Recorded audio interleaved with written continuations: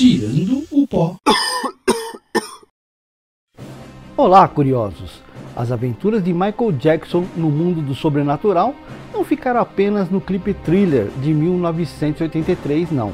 Em 1996 foi lançado o média-metragem Ghosts. É desse filme que vou tirar o pau hoje. O roteiro conta a história do prefeito que tenta expulsar um sujeito esquisito da cidade de Normal Valley. Foi escrito por Michael Jackson em parceria com o mestre do terror Stephen King. A produção contou com a direção do premiado Stan Winston, especialista em efeitos especiais de filmes como Exterminador do Futuro, Jurassic Park, Aliens e Predador.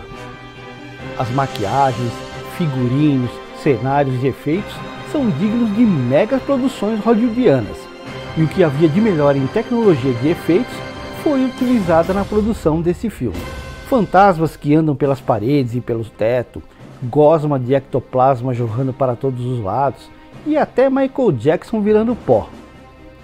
Há também momentos cômicos, como o personagem de Jackson fazendo caretas para o prefeito. E é claro, em se tratando de um filme de Michael Jackson, não poderia faltar música e as coreografias bem elaboradas, bem ao estilo de thriller. Michael Jackson interpreta o anfitrião esquisitão que o prefeito quer expulsar da cidade e é o próprio Michael Jackson, irreconhecível por causa de uma pesada maquiagem, quem faz também o prefeito. Ele acaba entrando na dança ao ser incorporado pelo fantasma. Outra cena icônica é do esqueleto de Michael Jackson dançando e fazendo seu famoso passo Moonwalker.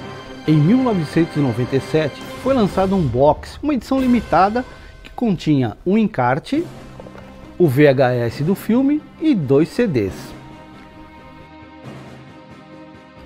Vale a pena lembrar que fantasmas ou esqueletos dançantes são coisas da nossa imaginação ou dos efeitos especiais. Tchau!